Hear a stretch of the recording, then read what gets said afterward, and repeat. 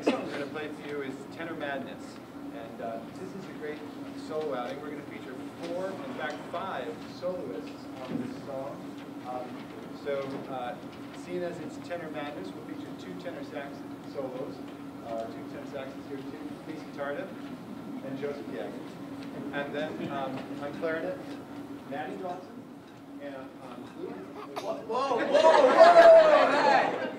Maddie Harper, I kind of put them together. Um,